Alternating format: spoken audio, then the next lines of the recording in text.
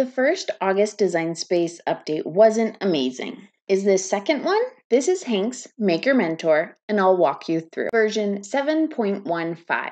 Once yours has updated, you'll see this What's New screen that says Bug Fixes and Performance Improvements, which is not very clear. So let's take a look at the official release notes where it says it contains improvements for the contributing artist designer processes, the Cricut Access free trial and savings visibility, and bug fixes. I haven't seen anything that shows me more detail about the improvements for the contributing artist designer processes. That doesn't really bother me if it's helping the contributing artists. If you know more, please let us know in the comments. Let me explain what they mean when they say the Cricut Access free trial and savings visibility. If you're not familiar with Cricut Access, I'll give you the summed up version here, but if you want more details, check out this video that I'm linking up above and in the description explaining it in more detail. The summed up version is that Cricut Access is an optional monthly membership for unlimited use of Cricut designs and fonts and some other perks.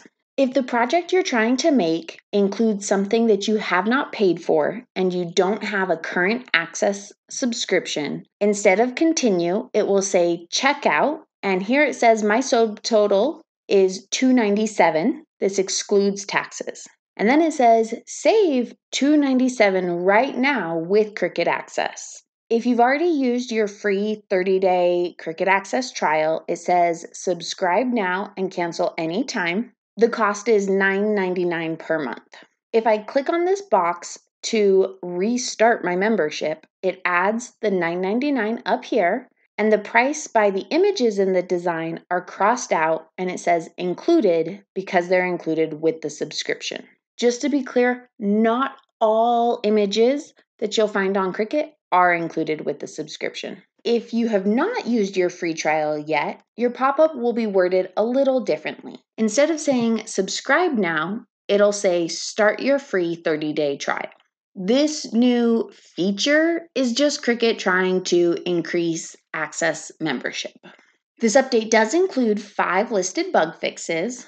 As always, if you want to see all the details about it, look for the link in the description to the official release notes. I'm not really impressed with this update but I cannot adequately express my appreciation for you taking the time to watch this video. I hope you have a wonderful week. Thank you for watching Hanks Maker Mentor, and until next time, bye.